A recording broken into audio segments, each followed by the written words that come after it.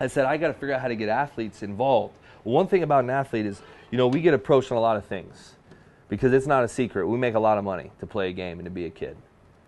And so we get approached on a lot of things. A lot of people are saying, can you give to this or can you help with this or this or that? And so most stuff gets thrown in the trash because we don't know you. I mean, I've even got guys that are saying, hey, I want to invest in this. Do you want to give me money to invest? I'm like, what? That works? I don't know who you are. And you just randomly want me to give you money? Like, so we got all these people asking for money. And so we understand that. So what we what, what, what athletes have is that we got a little bond. And if another player comes up to him and says, Hey, this is my thing I've got going, I want you to think about maybe helping me, we'll trust that. Because we're with these guys more than we're with our own wives during the season. So they're like close brothers, man. We'll trust them. And so what we do is we, we get into those situations. Well, what I've also learned, when especially when it comes to trafficking, is a lot of one men are embarrassed by it. I can tell you that because once you start feeling figuring out where the trafficking's at, it's the the internet porn industry, the the strip club industry, all this stuff. Guys are like, ooh, you know, I don't know. You, know, you, you all of a sudden they quiet down pretty quick because it's embarrassing because they they're like, man, I've supported that. Like, I don't know if I want to really be you know available for that. I mean, it's kind of a good cause, but eh, but all the girls are piled in here. Like, yeah, let's fight for them. You know, no, we need more guys to fight for them. And, but what I've realized is when the wife throws the elbow and says you're going to do it to a te- to their husband who's an athlete, it gets done. You that right now. And my wife looks at me and she says, "You're writing a check." I'm like, "Okay, how many? Uh, here you go." You know, it's you know how it is. So I basically got the guys together. We have we have these Bible studies in spring training in Arizona. We got like five of them and going. Well, all the wives show up for it. So Dave came down. We went into each Bible study and we, we promoted this deal. And I talked to the athletes. I know every single one of those players in there.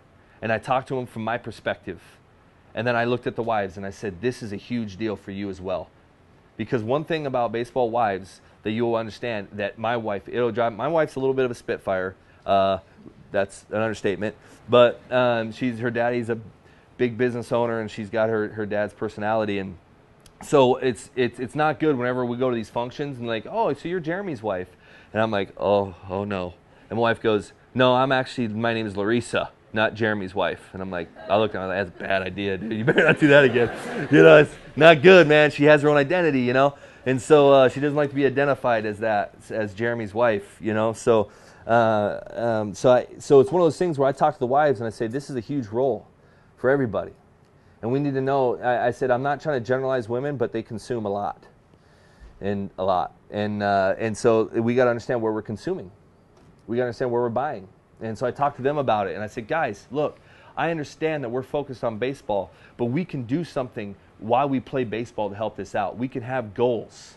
And I was able to get 17 guys signed up for this thing called for free to play. And all 17 these guys become a free to play all star. And it's on the website, and Facebook Causes has it and they made an app for us. And what they, these guys now you can pull up and it'll show you what they donate for. This is what they're donating. This is, and then you can join them. You can say, well, my favorite player is uh, uh, Matt Holliday, good friend of mine. He does. He gives 500 a homer. You can go up there and say, you know what? I'll give 25 cents for every homer he gets, and you can actually put that on on the uh, and have your own. You can build your own team. You can design your own fantasy team. You can pick a favorite player out. And so we designed this deal where fans could join us and help us out because that's what we need. A lot of people think athletes that make tons of money, we can do it ourselves. That doesn't make sense because you can get big organizations that give a big chunk of money. You can get like four or five of those that give a lot of money. But most of the time, the causes and the movements that accelerate are the ones that have a bunch of people, just people, who are saying, I want to promote this, I want to help this out, giving a little bit of money. That's how, that's how movements start, and that's how they generate energy.